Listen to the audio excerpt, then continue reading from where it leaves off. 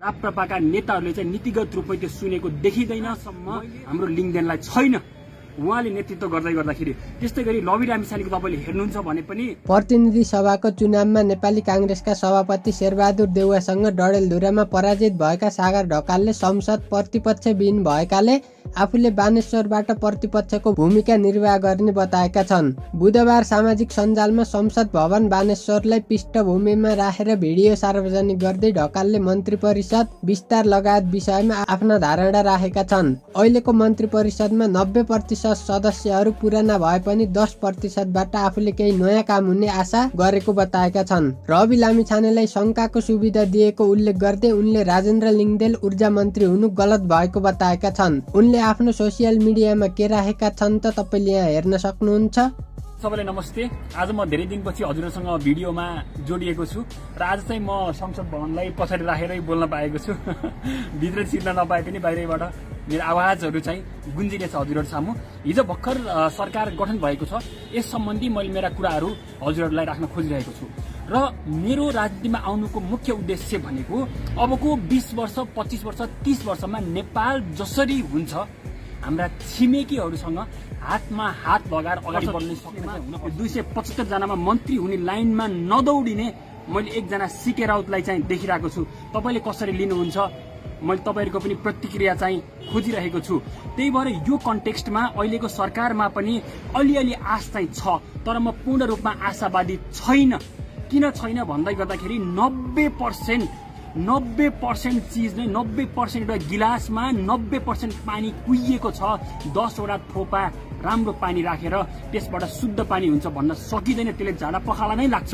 यो सरकारले झाडा पखाला नै लगाउने सरकार हो। यो नेपालीहरूलाई झाडा पखाला लगाउने नै सरकार हो। तपाईँले अहिलेका प्रधानमन्त्रीदेखि लिएर तमाम मन्त्रीहरूमा मेरो आशावादी छ। तर आशावादी हुनु शुभकामना दिन तपाईँलाई जस्तै मैले पनि सक्थेँ अहिले भर्खर क्रिटिकल हुनुपर्ने कुनै पनि खाँचो थिएन तर मैले अघि नै पनि भने म अहिलेको प्रधानमन्त्री हुन्छ मन्त्रीसँग मलाई कन्सर्न छैन।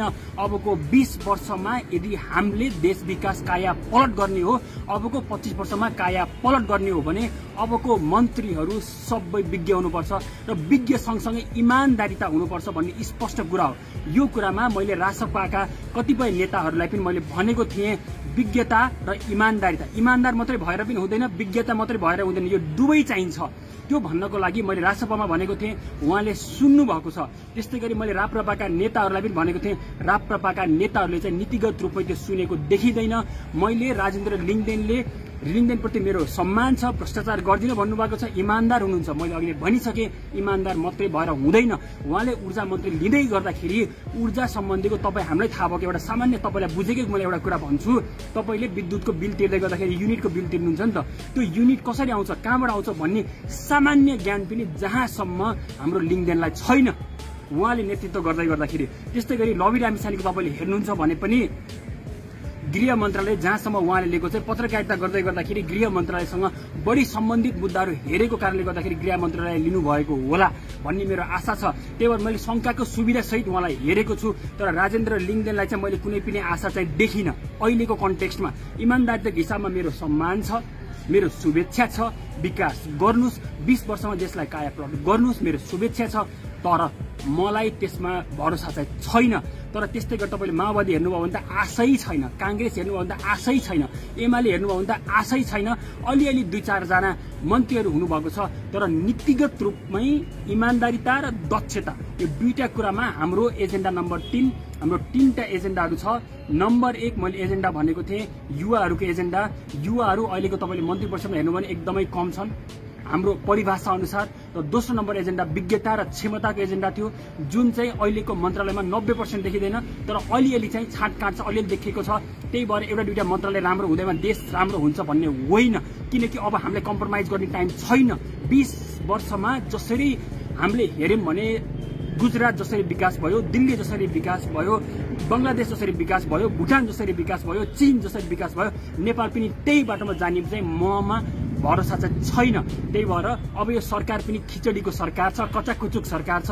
जहाँसम्म यो सरकार धेरै टिक्दा पनि टिक्दैन त्यही भएर अब नेपालमा पनि तपस्वी जस्ता नेताहरू चाहिन्छ। त्यसको लागि तपाईँहरू तयार हुनुहोला।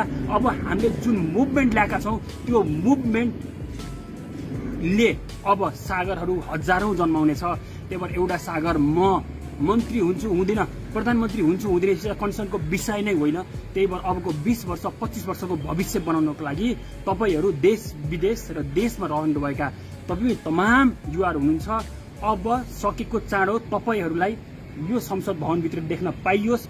तपाईँहरू जस्ता मान्छेहरू लामो दूरीको राजनीति गर्न खोज्ने मानिसहरू हामीले हाम्रो संसदीय राजनीतिमा देख्न पाइयोस्। सत्ता पाउने बित्तिकै दुगुरा दुगुर गर्ने चप्पल छोडेर भाग्ने नेताहरूबाट चाहिँ हामी सचेत पनि हुनुपर्छ।